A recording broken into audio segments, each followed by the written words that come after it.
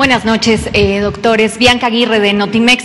Quisiera saber, bueno, pues, ¿por qué hay tanto contraste en la zona fronteriza Estados Unidos-México en cuanto a los contagios? Y es que, por ejemplo, eh, se ve un mapa eh, circulando en el que en California, por ejemplo, hay 3.944 contagios, mientras en Tijuana solamente hay 10 y en Baja California hay 20. Otro ejemplo es Arizona, 508 y Sonora son siete.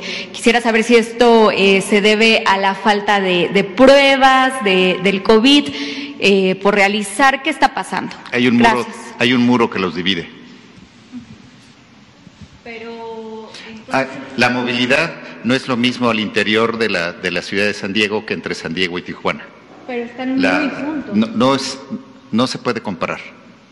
Eh, pero esto no quiere decir que después no tengamos un brote en, este, en estos lugares, que, que el porcentaje de población lo vayamos a tener. Hasta el momento no se ha presentado. Pero el muro está haciendo esos efectos. ¿Cuáles son los requisitos para que las personas tengan acceso a esta incapacidad? Tener los síntomas de relacionados con coronavirus. Toda persona que tenga fiebre, cefalea, ¿cuáles son las otras? Odinofagia. Y tos.